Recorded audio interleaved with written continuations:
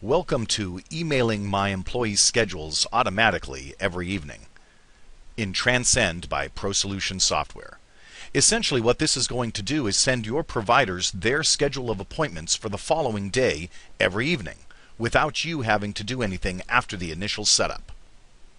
So, let's go to Setup, Configuration, General, Online Store Settings. That takes us to this window where we have our online store and Darcy. Select Darcy. The first thing we need to make sure is that our end of day functions are selected.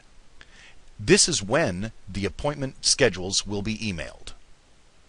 End of day functions, choose the time for this to run. We recommend 30 minutes after your closing. And accept. Once set, remember, once set, you don't have to set it again. The next thing we want to do is set up notifications. There are many notifications to choose from. The one we're interested in here is fourth from the bottom, email tomorrow's schedule to operator. Be sure that's checked and save. And now we can exit.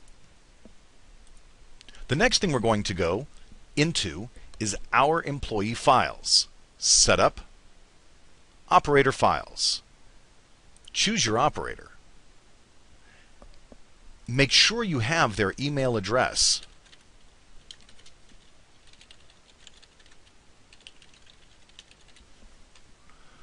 Once the email address is in, you are able to select any of these three items bookings, schedule, or sales.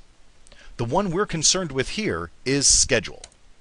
By having it checked green, Abigail will be one of those operators that will receive her appointment book every evening automatically for the following day. This bookings sends her an email instantly the moment an, email, a, an appointment is booked, unbooked, or rescheduled. That's not what we're currently focusing on.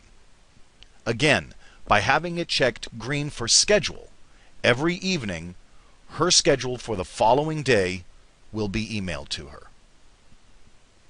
And accept. That's it.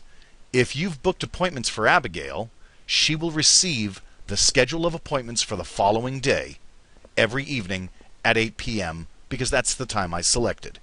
Depending on what time you've selected, it may be different.